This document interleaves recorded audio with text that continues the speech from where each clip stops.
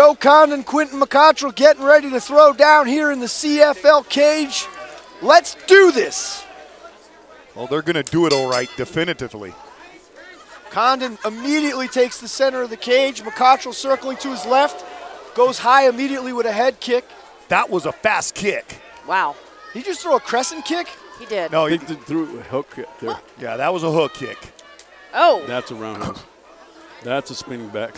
someone's got some taekwondo behind him. Yes, he is going ninja on Joe Condon, and Joe Condon's just standing there slapping those kicks away like Oh. he should. Joe Condon's like, you better ban up. No respect to those kicks. I love that by Joe Condon. Beautiful kicks executed, but again, in MMA, not the most effective technique. Quinton McCotrell obviously did his homework on Joe Condon, going at him right away. Joe Condon's the type of fighter who gets better as time goes by. Exactly. The more looks you give him, the better he gets. Joe Condon is what they call a slow starter, but he's consistently and exponentially getting better with every minute, with every round. So you've got to come at him fast, because if you don't, he will put you away. Condon, one of the more cerebral fighters that you'll see inside of a cage. Beautiful jab. Just barely missed Quinton. with that right hand. Very tentative so far from Condon. He's still trying to get a read of McCotrell. Who's Well, staying like extremely busy. Oh, nice Good one, two. And Nice combination Beautiful there. finish on the leg. Textbook Muay Thai combination from Joe Condon right there. But once again, it's not just a one-two; it's a one-two-three-four. He threw four combinations there, four-punch combination with the legs. And he finished with that beautiful Dutch style leg kick. Accidental groin, Shot groin to, kick the, by, by Condon, and Shot- it was clearly accidental. shot to the mommy daddy button. Quinton McCotrell jumping on his heels. The strictly Well- outie. he, he's he's going to walk it off.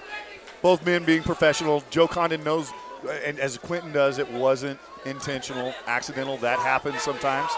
Quinton McCotrell checks the marbles and we're back underway.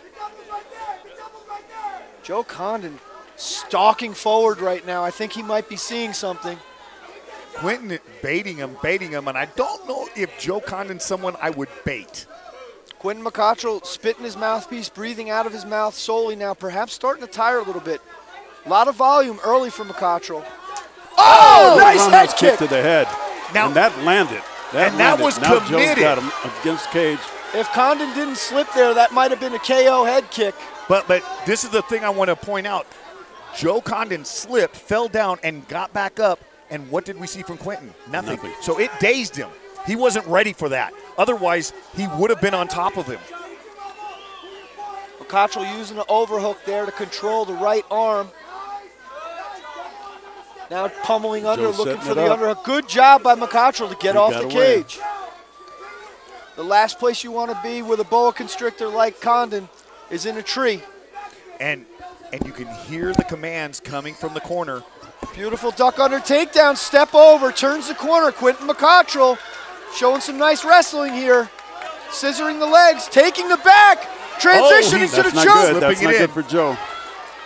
He's got those hooks in, but Joe Condon calmly trying to execute the defense. He knows what he needs to do. Minute 20 seconds left in the round. Condon's in trouble here. Yeah, there's still a lot of territory to cover here, and he needs to turn around. He's looking like he's going to turn into it here. as soon as he turns into it.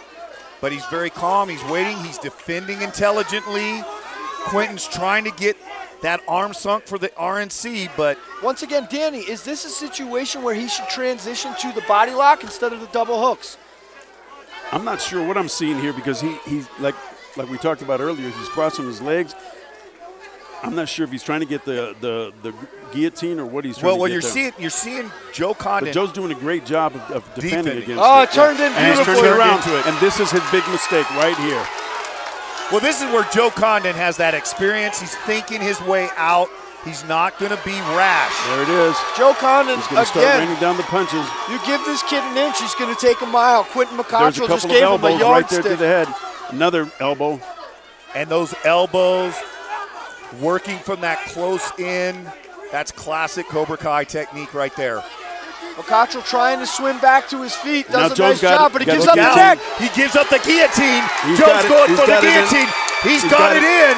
Oh, he didn't get the hips locked in, and Quinton got out.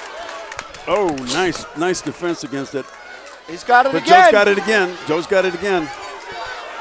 And he's locked into He's it this time. This time there's no place to go. That's He's it. down. Oh! And It's over. It is again, over. Again, a The definitive win.